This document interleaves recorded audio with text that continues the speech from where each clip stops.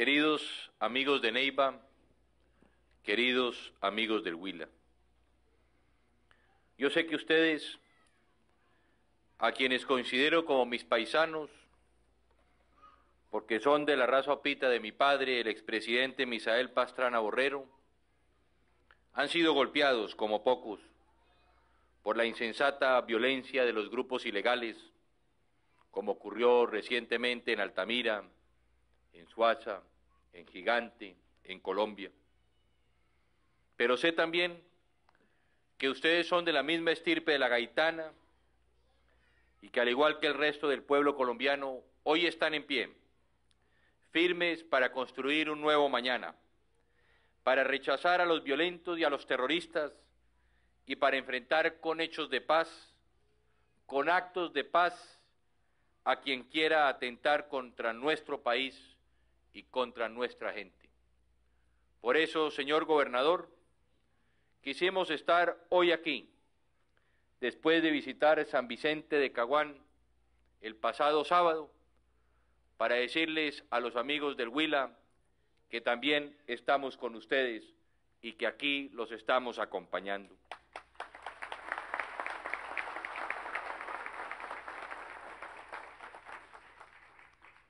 Desde que las FARC tomaron la decisión de romper este proceso de paz en el cual nos habíamos comprometido todos los colombianos. Como lo dije en San Vicente, así como Manuel Marulanda nos dejó sola la silla ese 7 de enero de 1999, también nos dejó abandonada la silla el 20 de febrero del presente año y que distinto a las FARC, el gobierno y el pueblo colombiano nunca abandonamos la silla de la paz. Siempre estuvimos dispuestos a estar sentados en ella, porque creemos y seguimos creyendo que es a través de la solución política negociada como vamos a resolver el conflicto que nos afecta a los colombianos y que por eso nunca abandonamos esa silla, que seguimos creyendo en esa solución y que fueron ellos los que tomaron la decisión de levantarse la mesa de negociación a través de los actos terroristas que vienen realizando a lo largo y ancho del territorio nacional. Pero desde ese día que tomamos la decisión de levantar la zona de distensión, he encontrado la inmensa solidaridad de todo el pueblo colombiano. La nación reunida en torno a sus valores y a su coraje, estamos hoy más unidos que nunca, rodeando a su gobierno, a sus autoridades y a las fuerzas legítimas del orden. Hoy aquí, desde Neiva y desde el Huila, desde esta tierra que vio nacer a mi padre, desde la tierra del senador Jorge Eduardo Hechen Turbay, cuyo secuestro estremeció a todos los colombianos esta misma semana, la tierra de Consuelo González de Perdomo y de Orlando Beltrán, congresistas huilenses también secuestrados por las FARC, la tierra de Gloria Polanco, esposa del senador Jaime Lozada Perdomo, también separada de su familia por este grupo terrorista, la tierra de tantos que han sufrido el dolor del secuestro y la extorsión, hago un nuevo llamado a la unidad de todos los colombianos. Ahora, los violentos han vuelto a atentar contra la democracia y esta vez han secuestrado nada menos que a una candidata presidencial, a la doctora Ingrid Betancourt y a su asesora, en un acto que condenamos con toda la fuerza de nuestra voz. Secuestrar a miembros del Congreso, secuestrar a una candidata presidencial y secuestrar a colombianos es, como he reiterado, un secuestro a la democracia. Está visto que cada vez más las FARC quieren demostrar al mundo su postura antidemocrática, anticolombiana y terrorista. Por eso tenemos que construir un frente unido contra la violencia y muy especialmente contra el secuestro, hasta que regresen a sus casas todos los que hoy están sin libertad. Vamos a pedir todo el respaldo y la ayuda a la comunidad internacional para luchar contra este flagelo hasta que no haya un solo colombiano ni un solo extranjero en manos de los criminales y lejos de los suyos. El mundo entero, he dicho yo, con proceso o sin proceso, está pendiente de la conducta de la guerrilla y exige hoy más que nunca la liberación de todos los secuestrados, no más secuestros en Colombia. Esa será nuestra consigna con el apoyo de todos los ciudadanos y la acción efectiva de nuestras fuerzas de seguridad.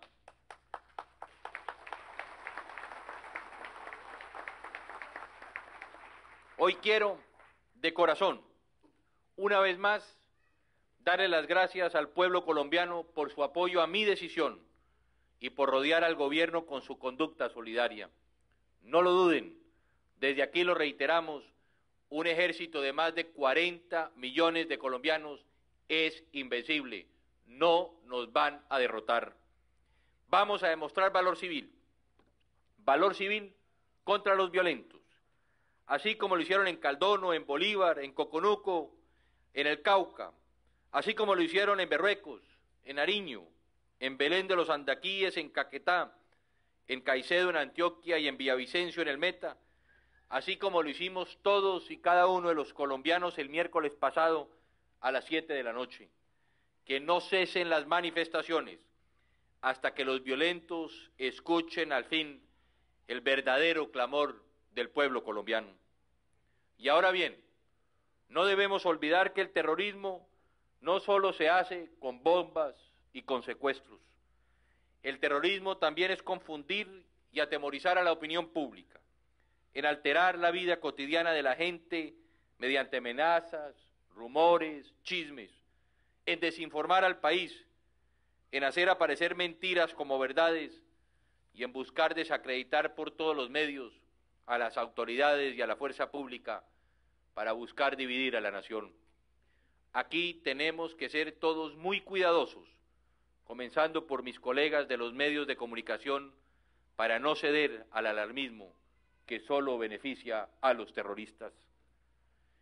En la antigua zona de extensión y en todo el territorio nacional, a lo largo y ancho del país, la fuerza pública y los organismos de inteligencia están redoblando sus esfuerzos y utilizando toda su capacidad para proteger a los ciudadanos y a la infraestructura de los posibles ataques terroristas de la guerrilla. Si a ello le sumamos la acción de más de 40 millones de vigilantes dispuestos a colaborar con sus autoridades en defensa de nuestros valores, de nuestra vida y de nuestra libertad, no hay duda de que ganaremos esta batalla, que no es contra el ejército, que no es contra nuestra policía, que no es contra el presidente, que no es contra el gobierno, sino es contra todos los derechos que tenemos todos los colombianos de vivir una Colombia en paz, en desarrollo y con justicia social. Estamos tomando todas las medidas necesarias para garantizar la seguridad de los colombianos, así como el libre desarrollo de las próximas elecciones y la seguridad de todos los candidatos, y tomaremos sin que nos tiemble el pulso todas las que exija la situación pero pueden también tener la tranquilidad de que no vamos a tomar medidas cuya adopción cause más daño que el que se presente evitar precisamente a nuestra economía que se encuentra en franca recuperación. A todos los candidatos presidenciales, desde Neiva y desde el Huila, quiero reiterarles que sí hay garantías para el libre ejercicio de sus campañas y de su proselitismo político. La fuerza pública, los organismos de inteligencia, y todo el aparato estatal están al servicio de la transparencia de los comicios y de la seguridad de los candidatos y estamos trabajando en esto sin descanso. No ahorraremos esfuerzos para que las elecciones de Colombia sean libres y seguras.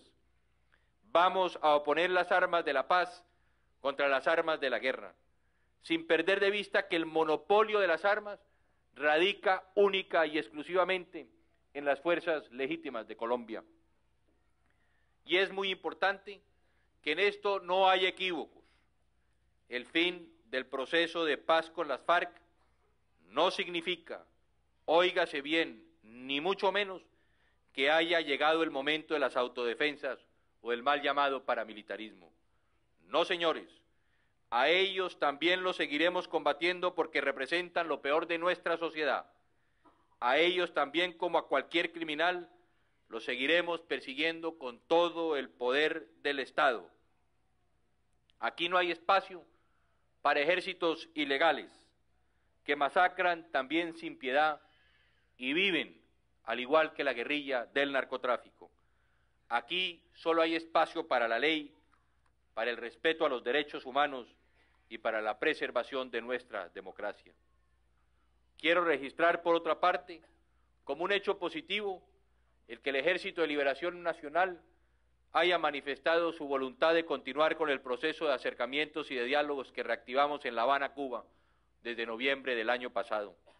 Allá justamente está hoy el alto comisionado para la paz, avanzando en este esfuerzo que seguiremos haciendo con nuestra convicción democrática de siempre. Esperamos que pronto se comiencen a ver los resultados, sobre todo en materias que tengan que ver con los acuerdos humanitarios que bajen la intensidad del conflicto con este grupo guerrillero y que saquen a la población civil del mismo. Ya lo dije el miércoles pasado, el libro de la paz sigue abierto y solo se cerrará cuando entre todos la alcancemos.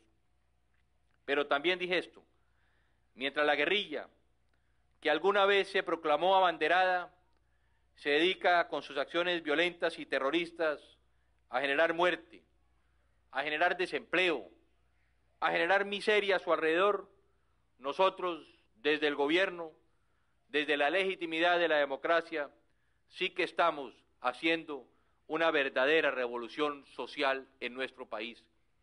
La revolución social no se hace con balas, la revolución social se hace con inversiones. La inversión social y la revolución social se hace con obras, la revolución social no se hace con terrorismo.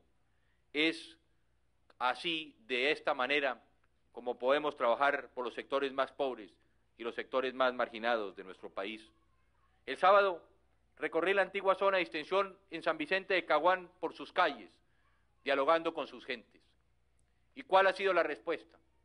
En los tres años de mi gobierno, en los antiguos cinco municipios, se han hecho inversiones que superan los 142 mil millones de pesos.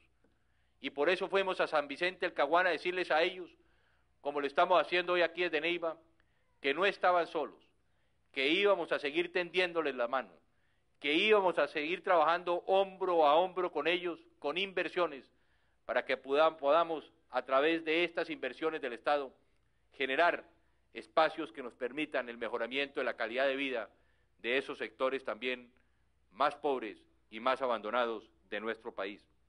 Y por eso estamos hoy aquí, señor gobernador y señor alcalde, aquí en Neiva, para traer recursos, para entregar tierras, para traer buenas noticias al pueblo huilense que tanto lo merece. Por eso he querido venir aquí a Neiva, porque aquí en Neiva, porque aquí en el Huila también estamos haciendo la revolución de la vivienda para los más pobres de Colombia. En cumplimiento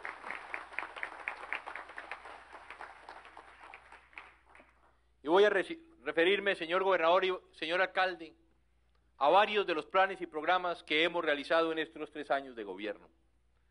En cumplimiento de esta tarea de equidad y de justicia social, hoy también me siento muy satisfecho de entregar aquí en esta querida tierra opita, a través del INURBE, 553 subsidios familiares de vivienda para las familias huilenses, con una inversión superior a los 3.400 millones de pesos son 553 familias del Huila que pronto verán el sueño de ver cumplida su sueño de tener una casa propia.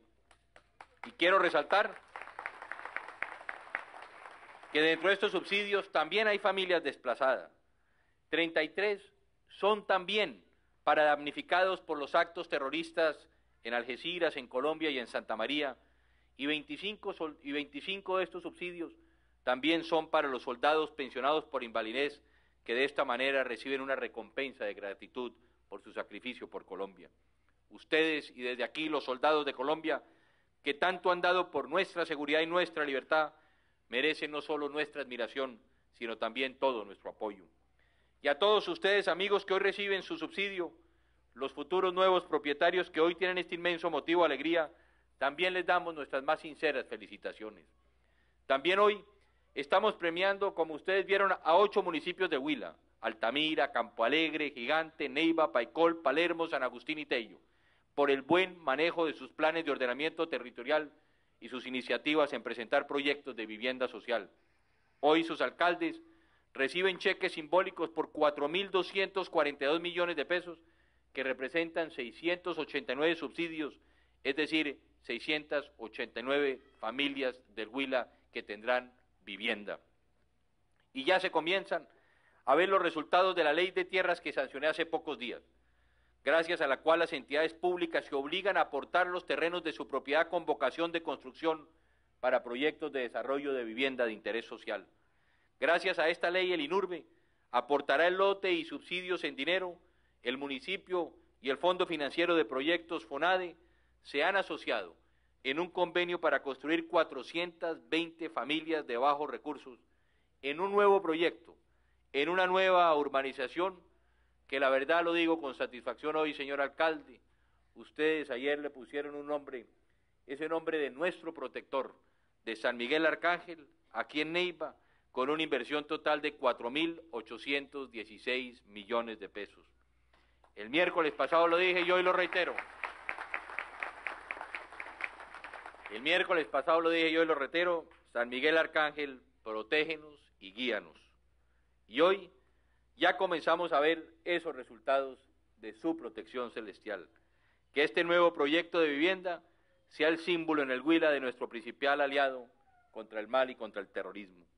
Y qué bueno poder decir hoy también que nuestro programa de vivienda de interés social ha llegado no solo a Neiva, sino a todo el departamento del Huila y al resto del país generando empleo y calidad de vida.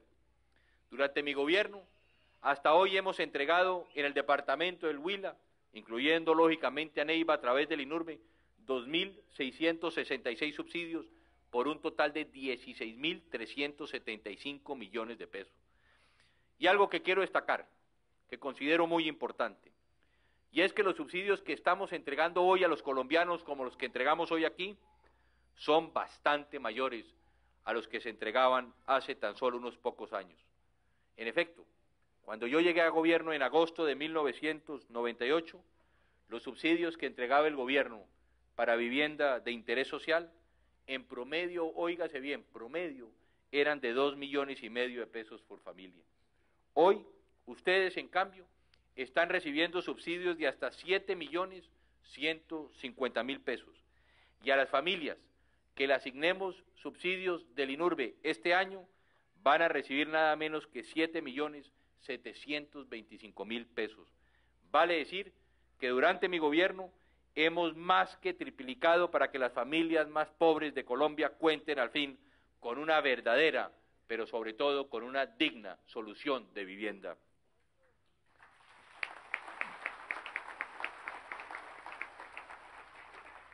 Pero aquí hay algo más.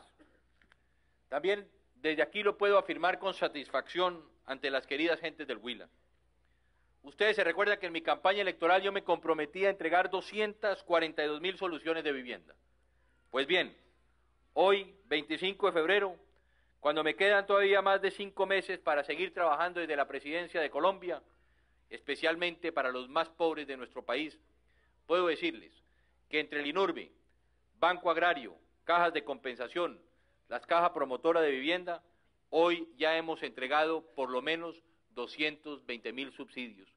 Y si sumamos los subsidios que hemos entregado del INURBE, los 220 mil, y si sumamos a ellos los que nosotros otorgamos a través del FOREC durante la reconstrucción de todo el eje cafetero por el terremoto, estamos hablando de que mi gobierno ha entregado 350 mil subsidios de vivienda para construcción, reconstrucción, o adecuaciones de vivienda hasta el día de hoy por un valor superior a 1.9 billones de pesos. Así que no solamente cumplí con mi promesa, sino que la hemos rebasado en más de 100 mil subsidios. Esta sí es la verdadera revolución de la vivienda. La guerrilla también ha exigido siempre con, con la fuerza de las armas y la destrucción, una reforma agraria en Colombia. Ese era uno de los temas que teníamos en la agenda de negociación. Pero mientras que ellos han exigido una reforma agraria, lo único que han hecho es asolar los campos y desplazar a los campesinos trabajadores de nuestro país. Pues bien, queridos amigos del Willy de Colombia, esa reforma agraria ya está en marcha y es la que hemos venido realizando a través del INCORA. La revolución de la tierra la estamos haciendo ya y no necesitamos que nadie nos la imponga a sangre y fuego. En el Huila, en el Huila a través del INCORA, hemos beneficiado a cerca de 3.000 familias, entregándose la propiedad de cerca de 16.500 hectáreas con una inversión de 14.130 millones de pesos. Hoy vemos en concreto los resultados de esta labor de titulación y entrega de tierras para los campesinos más pobres del departamento. Esta tarde estamos entregando 122 títulos sobre 280 hectáreas de terrenos que eran baldíos para beneficiar a las familias campesinas de Gazón, Oporapa y Tarqui.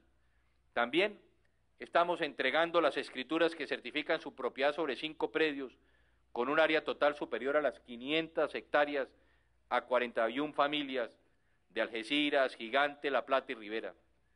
Además, Estamos entregando títulos sobre dos predios por más de 96 hectáreas a 14 familias desplazadas por la violencia en Garzón y en Gigante. Y estamos constituyendo dos resguardos indígenas en La Plata y San Agustín para beneficiar a 97 familias sobre 386 hectáreas. En total, no más en este acto, estamos beneficiando a 274 familias en el Huila, entre campesinos, desplazados, indígenas, entregándoles acceso a la propiedad sobre 1.263 hectáreas. Son tierras para los huilenses que más la necesitan.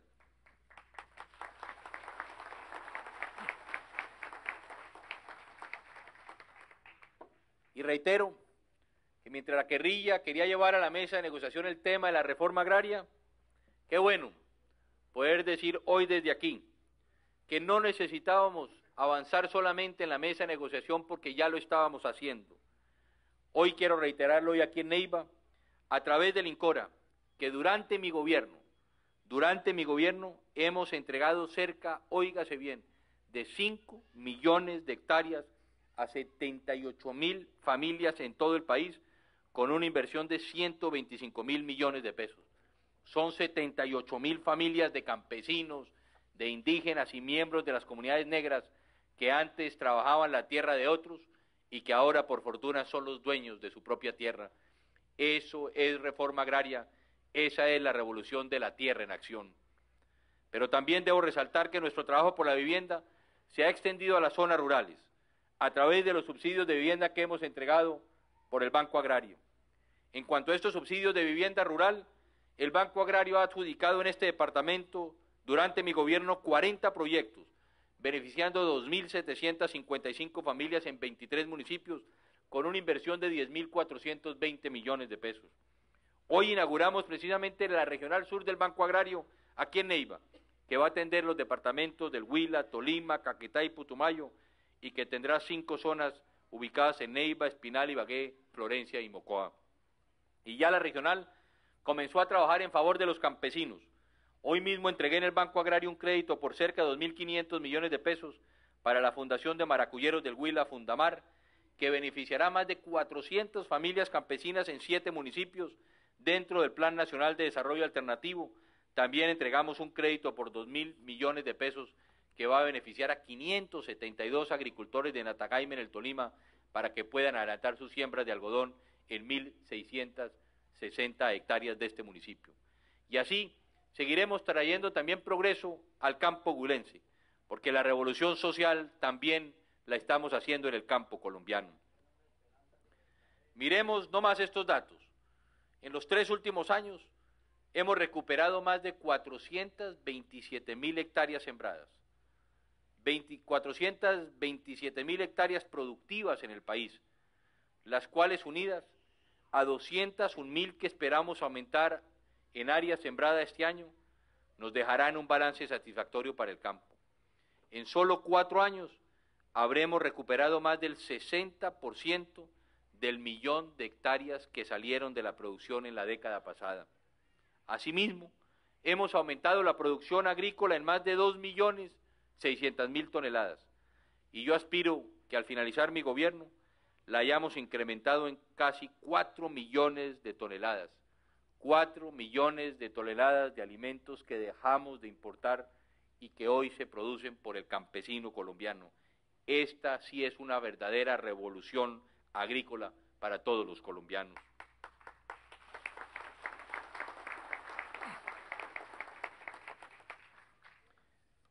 Y en esta visita también hemos venido a traer mejores condiciones de infraestructura carcelaria para el Huila. Inauguramos dos nuevos pabellones en la cárcel distrital de Neiva. Aumentamos la capacidad en 400 reclusos con una inversión superior a 3.200 millones de pesos. Y hicimos en la cárcel obras de cerramiento, garitas, talleres, para dejar también aquí, en Neiva, una cárcel más moderna, más humana y más segura. De estos 400 cupos, forman parte de los más 16.500 nuevos cupos carcelarios que estamos creando en las nuevas cárceles y nuevos pabellones en todo el país. Muchos no lo saben, pero hemos creado durante mi gobierno más cupos carcelarios que en los tres gobiernos anteriores juntos para hacerle frente con decisión al problema del hacinamiento en nuestros penales. Así también trabajamos por el Willy por Colombia con obras de infraestructura para su futuro. Queridos y estimados amigos del Huila, nuestro trabajo social, la revolución pacífica por los pobres de Colombia, lo estamos haciendo en muchas otras áreas como la salud, la educación, las comunicaciones, el transporte. Déjenme hablarles muy rápidamente de la salud. Hoy quiero resaltar que en la edición presupuestal del pasado mes de octubre, destinada precisamente a darle una mano a los hospitales públicos, asignamos 5.580 millones de pesos para el Hospital Hernando Moncaliano de Neiva. Igualmente, en el tema de la educación hemos hecho un gran esfuerzo por modernizar ese sector y garantizar por sobre todo una mejor calidad. Por ello, hemos invertido 1.600 millones de pesos en 22 aulas de nuevas tecnologías aquí en el departamento del Huila. A través del programa Empleo en Acción, además han sido aprobados 10 proyectos, tres de los cuales aquí en Neiva, en las comunas 8, 9 y 10, con una inversión del Fondo de Inversiones para la Paz por un valor de 1.200 millones de pesos para el desarrollo de infraestructura en centros docentes. Empleo en acción del Plan Colombia, el plan social más importante del país en los últimos años. También el SENA. Ustedes recuerdan que mis opositores en la campaña decían que el SENA lo íbamos nosotros a privatizar y no he hecho otra cosa, por el contrario, sino de fortalecerlo. En el cuatrenio la inversión física y social del SENA alcanzará la suma de 62.300 millones de pesos, con los cuales se han atendido la formación profesional de los trabajadores, asistencia para el desarrollo empresarial, el apoyo a las políticas de empleo, desarrollo tecnológico y la modernización institucional. Aquí se incluyen los tres nuevos centros multisectorales en La Plata, Garzón y el nuevo centro de agropecuario de Campo Alegre. También en el campo de las comunicaciones hemos desarrollado un ambicioso plan que busca que los colombianos de todos y cada uno de los rincones del país tengan acceso cercano al servicio de telefonía comunitaria y del Internet. Aquí en Neiva tenemos 15 centros de telefonía comunitaria y entregaremos uno de Internet, en los cuales hemos invertido 241 millones de pesos beneficiando a más de 12.400 neivanos. Igualmente en este departamento hemos cumplido ya el 100% de las metas de telefonía comunitaria con 250 puntos instalados, 97% de las metas que nos comprometimos del Internet social, con 37 puntos instalados, con una inversión de 2.832 millones de pesos que ha beneficiado en el departamento del Huila a una población cercana a los 100.000 habitantes.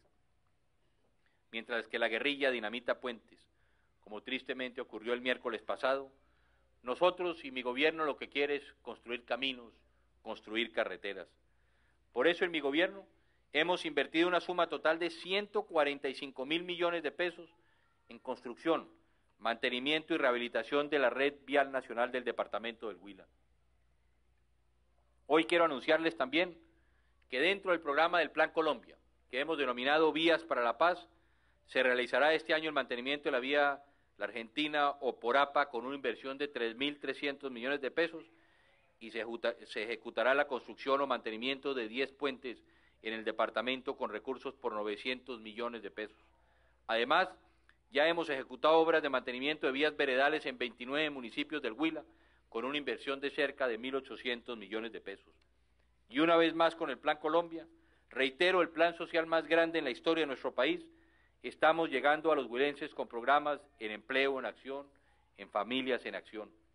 Con empleo en acción, estamos apoyando 227 proyectos generando para el departamento del Huila 11.000 nuevos empleos, con una inversión de 14.200 millones de pesos.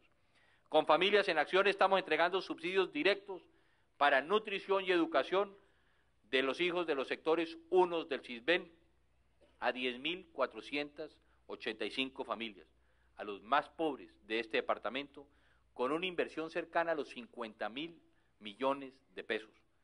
También estamos trabajando con Campo en Acción a través de convenios con el Plante, Colombia Siembra Paz, con el Ministerio del Medio Ambiente, proyectos agrícolas por más de 8 mil millones de pesos.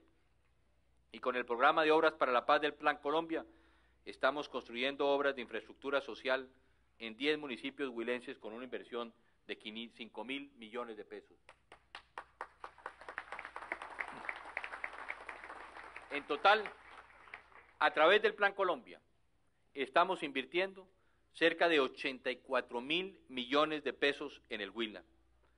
Como ustedes pueden ver, queridos amigos de Neiva y queridos amigos del Huila, no he dejado un instante de pensar, de actuar en favor de las gentes más necesitadas de este querido departamento. Las obras que hemos llevado a cabo hablan por sí solas.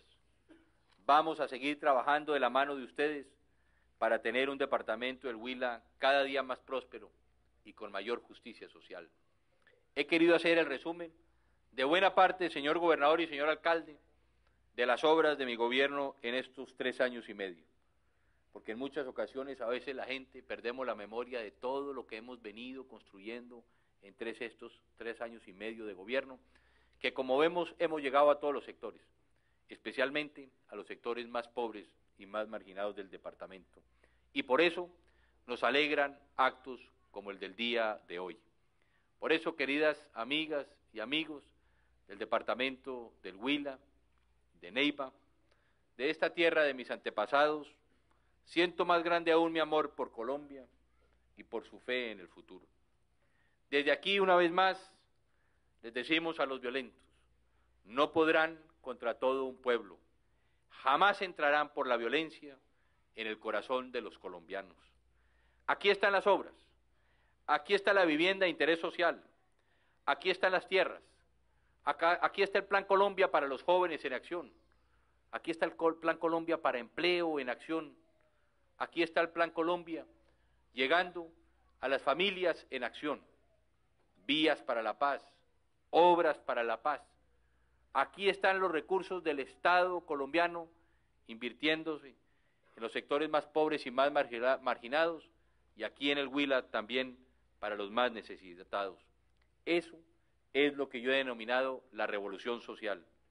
Por eso desde aquí una vez más, que Dios bendiga a esta querida tierra huilense, a esta hermosa tierra de promisión, como diría José Eustacio Rivera, y ya, señor alcalde, con ese homenaje que usted ha hecho a San Miguel, que San Miguel nos ayude a protegerla también. Muchas gracias.